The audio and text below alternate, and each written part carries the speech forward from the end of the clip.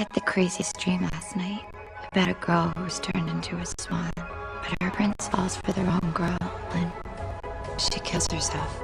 Black Swan, the film responsible for bringing back the negative stereotype of the ballet dancer. Unstable. Session Sassy. It's the role, isn't it? It's all this pressure. I knew it'd be too much. Little girls in pink tutus. What happened to my sweet girl? Skinny. Anorexic. Been there long enough. Weird, weird, weird. Attack it! Attack it! Come on! In this documentary, we talk to the professionals to get an insight into the falsehood of these stereotypes. Ballet is an art form. It's quite hard. Strict discipline.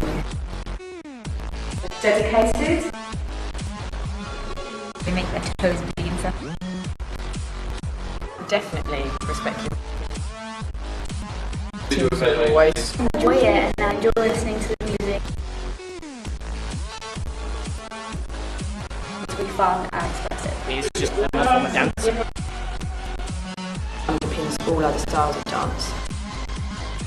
no form of emotional connection with themselves. I dance for pleasure.